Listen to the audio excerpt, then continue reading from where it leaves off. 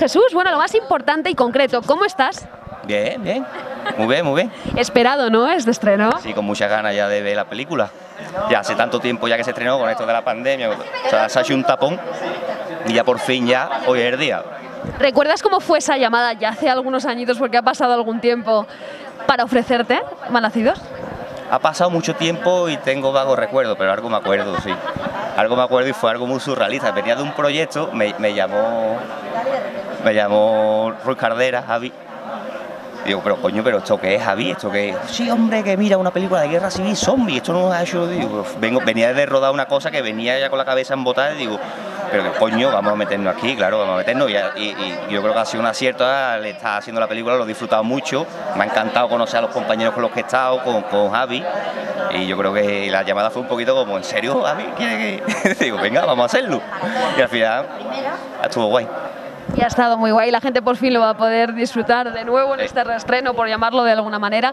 Pero justo eso, el rodaje con los compañeros. Hablaban de que ha habido muy buen rollo, ¿no? Entre todos, había incluso parones para jugar a cartas, a ping-pong, nos han dicho por aquí, un poco de todo. ¿Cómo lo has vivido tú? Pues muy bien, hemos, hemos rodado por toda Cataluña, por sitios preciosos de ahí de Cataluña. Ahora no me acuerdo mucho de, de los nombres, pero ya, ya lo, lo, lo, tengo que tener la orden de, de rodaje en el correo, lo tengo que tener.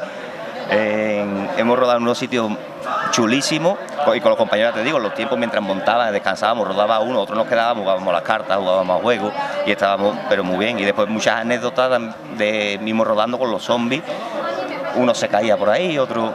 Es verdad que también estuvimos antes con pruebas de, tiro y yo tengo una pistolita que no, pues fui a pruebas de tiro, no tiro ni un tiro en toda la película, pero eso que me llevo.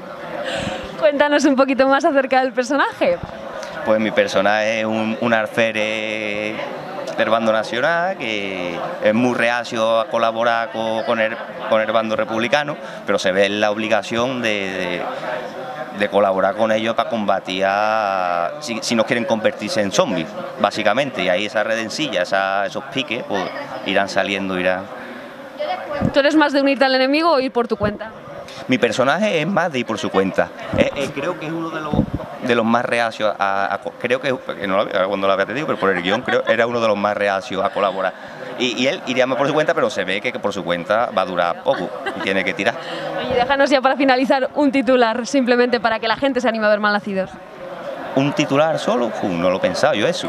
Yo creo que es una película es que divertida, con sus toques de humor, de acción, con, con, efectos especiales, los zombies, y creo que van a echar un buen rato y se van a reír van a, y van a ir al cine y van a pasar un buen rato. Y suficiente, muchísimas gracias Jesús, disfruta de la noche, gracias.